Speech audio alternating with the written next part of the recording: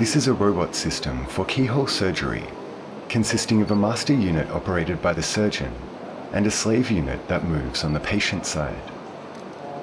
スレーブ側のロボットがですね全て空気で動いているというところに特徴があります。従来のロボットっていうのは全てほとんどが電動だったんですけども空気圧で動かすことによって何かしら接触した時の力っていうのを柔らかく吸収するような動作ができるですとか、まあ、ロボットの先端にかかっている力をですね空気の圧力情報から推定してお医者さんのマスター側にですねその情報を送って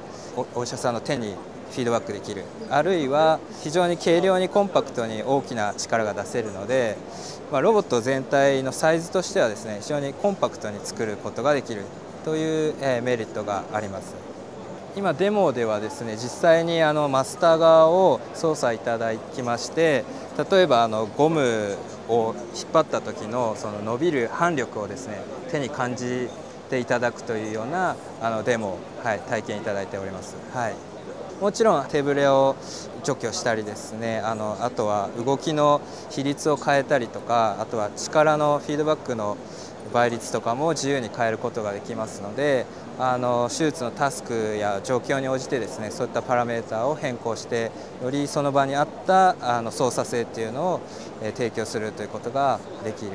ものになっています。今まあダヴィンチに比べてまあ3分の1から1桁安いくらいをまあ目指してあの作っているんですけども、はい、そういったコスト的にもあのよりあのよく作れるとは思います。はい、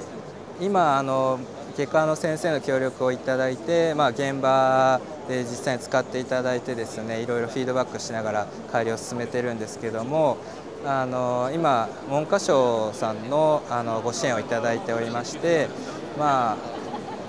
4年から5年後くらいにの実用化を目指して今開発を進めております。